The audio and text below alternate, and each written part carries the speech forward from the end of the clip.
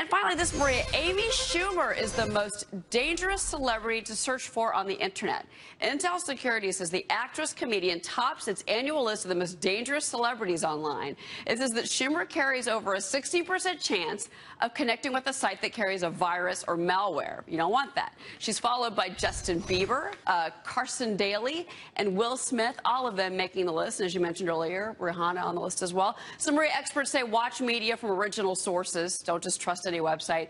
And be wary if you're trying to download a file and then use security software, of course. So, so if you search for these people, you're more likely to get that malware. You're, yeah, you're, you're going to end up on another site Wow. that's going to be that's going to potentially infect your computer. 60%. That seems really high. So, like, we know what it said. It said if you're good, if you want to watch Amy Schumer, go to Comedy Central's like website. You know, don't go to some random. Or go to HBO it. Go or HBO Now. You Right. can watch her stand-up special. Hmm. But it's it, but it's websites that if you look at the, the address on the website, they don't make any sense.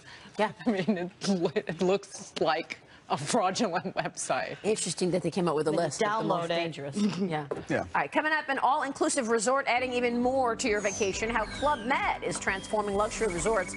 Straight ahead. Back in a minute.